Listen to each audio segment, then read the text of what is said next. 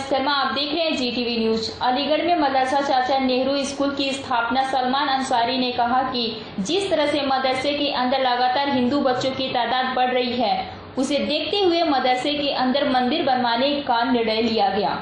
क्योंकि मदरसे के अंदर मंदिर नहीं होने के चलते हिंदू बच्चे मदरसे से बाहर मंदिर में जाते हैं, जिस वजह से पूर्व में हमारे बच्चों के साथ एक हादसा हो चुका है। हादसों को देखते हुए मदरसे के अंदर मंदिर बनवाने का निर्णय लिया गया है। छोटे बच्चे न स्कूल के बाहर मंदिर जाएँगे और न ही मस्जिद। मंदिर का निर्णय जल्द से जल्द करा दिया जाएगा।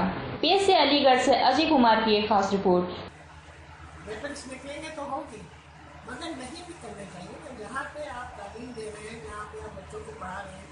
आप आप बच्चों को ये सिखा रहे हैं कि बैलेंस सही नहीं पीटना नहीं होना चाहिए। तो वहाँ आप असलाह कैसे रहे हैं?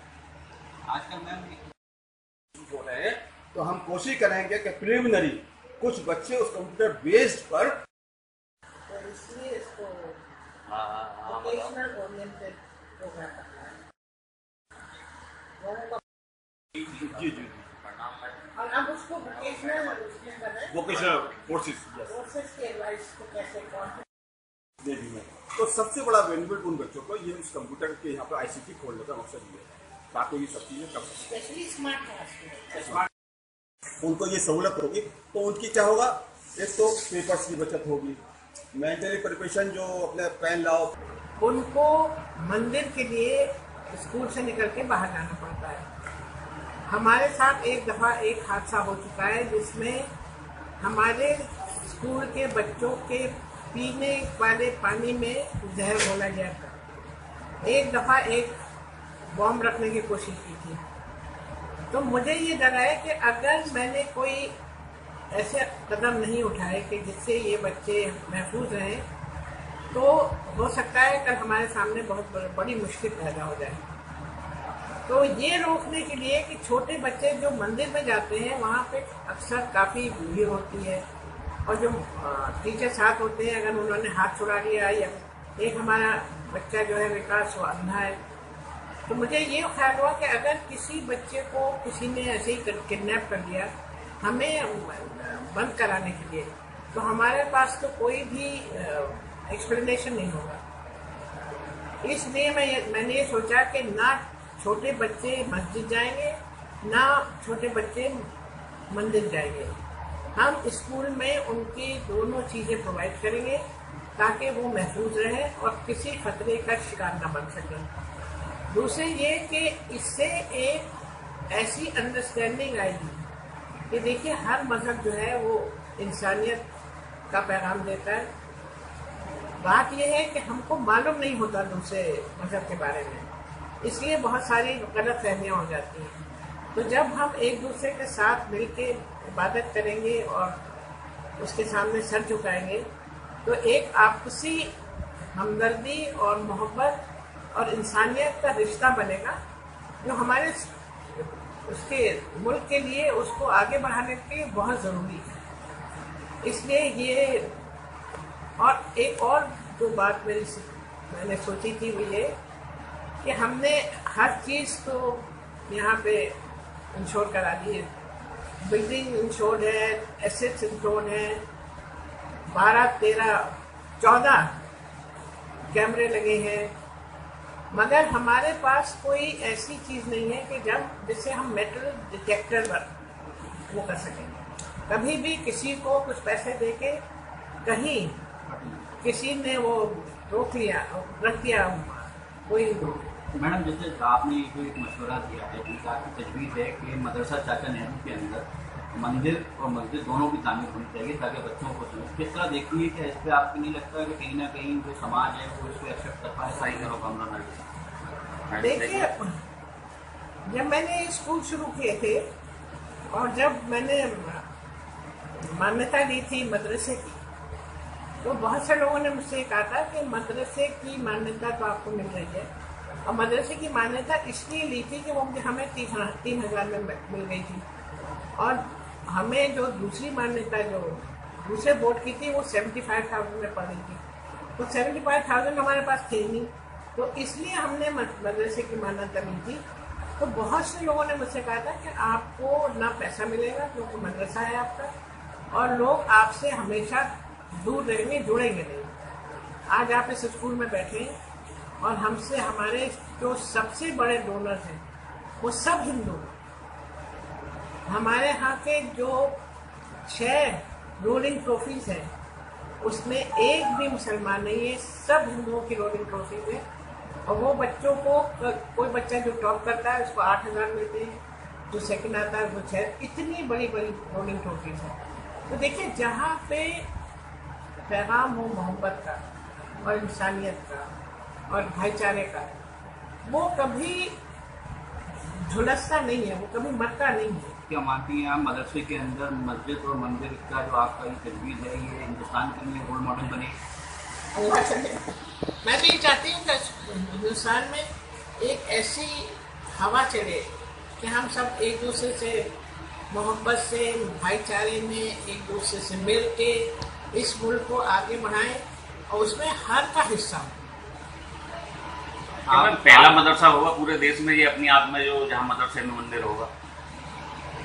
अब मैंने ये नहीं कभी सोचा मुझे तो सिर्फ़ बच, अपने बच्चों की हिफाजत का ख्याल था। तो क्या मैम यूपी की कानून व्यवस्था पर कहीं ना कहीं ये एक सवाल है कि जो बच्चे सुरक्षित नहीं है?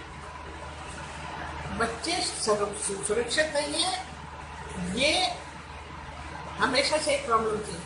दिल्ली में भी ये प्रॉब्लम है दिल्ली में तो बहुत बड़े बड़े स्कूलों में ये प्रॉब्लम रही है। मगर किसी ने इसलिए नहीं सोचा कि वो बहुत बड़े स्कूल हैं। उनको कोई प्रॉब्लम नहीं है अगर प्रॉब्लम आती है तो पैसा दे के उसको सॉल्व कर लेते हैं। मेरा तो मामूली सा स्कूल है। इसमें हम पैसा नहीं देते तो हमारे पास पैसे की कभी जाती होती नहीं है। तो हमें तो दस कदम सोच, पहले सोचना पड़ता है कि कहाँ, किस तरफ़ जाए कि हम महफूज रहें। ये सिर्फ़ हिफाजत के लिए मैंने किया। आपने कहा ना कैंपस से बाहर जाएँगे, मंदिर या रिलीजियस स्थल पे हो तब उन्हें सिक्योरिटी उनके साथ कोई घटनाक्रम हो सकता है। तो कैंपस से बाहर सिक्योरिटी तो एडमिनिस्ट्रेशन का काम नहीं नहीं जब वो स्कूल से बाहर जाते हैं, उनके माँ बाप उनके साथ होते हैं। हम लोगों की हिफाजत तो यहीं तक रहती है जहाँ तक स्कूल है। अब जो हॉस्टल में बच्चे रहते हैं, उनकी हिफाजत हमारी ज़िम्मेदारी है। तो अगर वो मंदिर में, और या मस्जिद में जो मुसलमान बच्चे गए उनके साथ कुछ गड़बड़ हुई तो उसकी ज़िम्मेदारी हमारे पे होगी। तो उस ज़िम्मेदारी को सामने रखते हुए मैं ये कदम उठा रही हूँ। बहुत बहुत मैम जैसे आज अब तो हम क्राइसिस के वापस आ गए हम देखिए पानी का क्या हाल है। पेड़ पौधे खत्म हो रहे हैं। इतना डायमेटिक चेंज आ रहा है कि जो बंगाल से बाहर है। तो वो तो करना पड़ेगा हर हाल में तो पॉपुलेशन कंट्रोल बनाने के लिए सारी पार्टियों को एक साथ ऊपर हाँ इसमें तो आपको आपको ये सोचना है कि आपको मुल्क को कैसे बचाना है? इतना ज़बरदस्त क्लाइमेटिक चेंज आ रहा है। देखिए मानसून ख़त्म हो गए गाँव के लोग दो दो मिल जाते हैं पानी पीने के लिए। खेत खाली पड़े तो ये अगर हमने नहीं किया तो हम सभी खत्म हो गए हम ज़िंदा ही नहीं रह सकते। कानून बनना चाहिए मैम इस पर जनसंख्या इस पर ज़रूरी है काम करना। और ये तभी हो पाएगा जब हम एजुकेट कर सकेंगे हमें एजुकेशन देनी है कि आप अगर ऐसा करेंगे तो ऐसा होगा। और वो डर के नहीं, बल्कि समझा के, प्यार, मोहब्बत से। वो ऐसा माहौल पैदा करके कि लोगों के समझ में आए कि हमें क्यों बच्चे कम पैदा करते एक वो ज़माना था कि मैंने जब अल्लूर में शुरू किया था तो उन्नीस साल पहले वहाँ के सारे मर्द लाठी लेके चले आए थे कि आप क्या बात कर रहे हैं? मगर अब वो माहौल नहीं आया है। बट लोगों में काफ़ी अवेयरनेस आई है और उसको हमको फ़ायदा उससे उठाना है। और एजुकेशन में अगर हम ज़ोर देंगे और एजुकेशन एक ज़माने में था, एक एक के दो होते थे ना? हम दो तो हमारे हम दो हमारे दो। इस किस्म की अगर सही तरह से इसका प्रचार होगा तो ज़रूर ज़रूर जनता इस पर करेगी। कानून बनाने की ज़रूरत है या नहीं? अब ये तो बड़ा टेढ़ा सवाल है। बहुत टेढ़ा सवाल है। ये तो डबल एज स्टोन हो गई है। अगर आप कानून नहीं बनाते तो लोग उसको फॉलो नहीं करेंगे।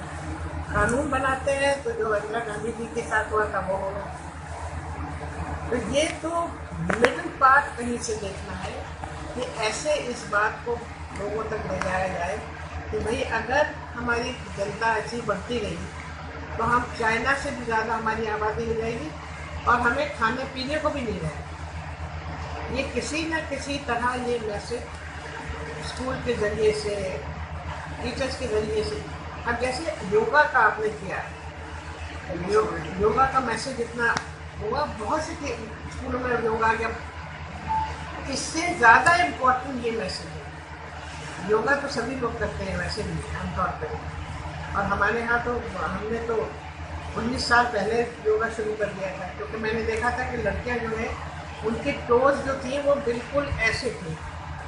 उनकी टोज सीधी नहीं होती थी। तो हमने तो ये पहले दिन से योगा शुरू किया था बच्चों को स्ट्रेस कम करने के लिए। मगर ये इतनी बड़ी बड़ा सवाल है।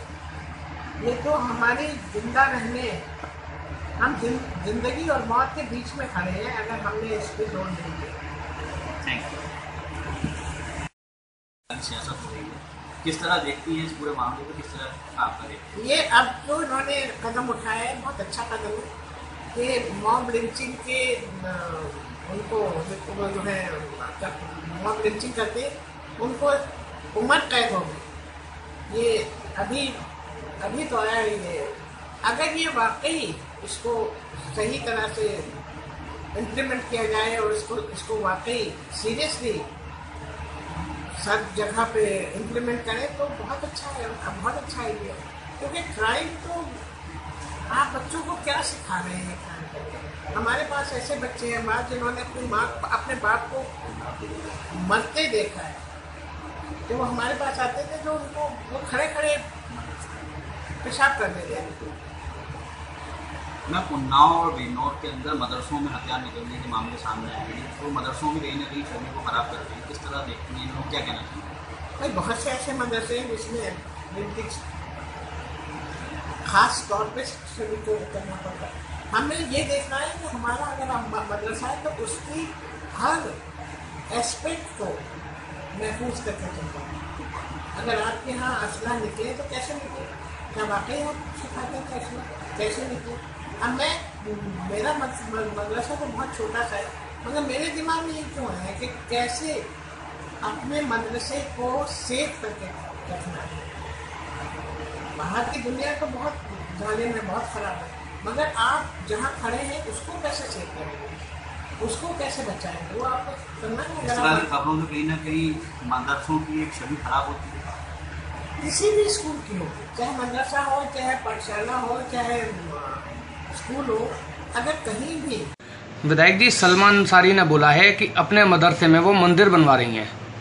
इस पर आपका क्या कहना है? मैं सलमान जी से कहना चाहता हूँ, अगर उनको मंदिर बनवाना है तो किसी अच्छी जगह बनाएँ, जहाँ पर पूजा पाठ हो सके, क्योंकि मदरसे में सिर्फ़ मुस्लिम बच्चे तालीम हासिल करते हैं। वहाँ पर कोई मंदिर बनवाने का उचित नहीं है। अगर उनको कोई मंदिर बनवाना है तो कि ऐसी जगह मंदिर बनाएँ, जहाँ हिंदू भाई रहते हों, मंदिर में पूजा हो सके। मदरसे में मंदिर बनाकर वो एक नया विवाद पैदा करेंगी और इन कट्टरपंथी लोगों को एक नया मुद्दा देंगी। और वो फिर कट्टरपंथी हर मदरसे के अंदर यही कहेंगे कि जब सलमान अंसारी की मदरसे में मंदिर है तो हर मन, हर मदरसे के अंदर मंदिर होना चाहिए। इसलिए बिल्कुल मैं उनके इस फैसले को खारिज करता हूँ कि ये फैसला उनका सही नहीं है। एक सवाल और विधायक जी भाजपा के राज्यसभा राज्यसभा सांसद राकेश सिन्हा ने प्राइवेट मेंबर बिल में कहा है कि दो से अधिक बच्चे हों तो उन्हें सांसद, विधायक या किसी भी सरकारी तरह की सुविधा नहीं मिलनी चाहिए। इस पर आपका क्या कहना है? एमपी साहब को तुरंत हॉस्पिटल में भर्ती कराने की ज़रूरत है। एमपी साहब पहले अपना इलाज कराएँ और जब इलाज करके वो सही हो जाएँ तो फिर विकास की बात करें बच्चों बच्चों की बात ना करें। बच्चे किसके कितने होंगे, कितने नहीं होंगे, ये इंसान का अपना जाति मामला है। लेकिन एमपी साहब का कुछ तबीयत ठीक नहीं है मेरे ख्याल से। वो इसलिए राज्यसभा में इस तरह की बात कर रहे हैं, उनका उनको इलाज की ज़रूरत है और अपना इलाज कराना पड़ेगा।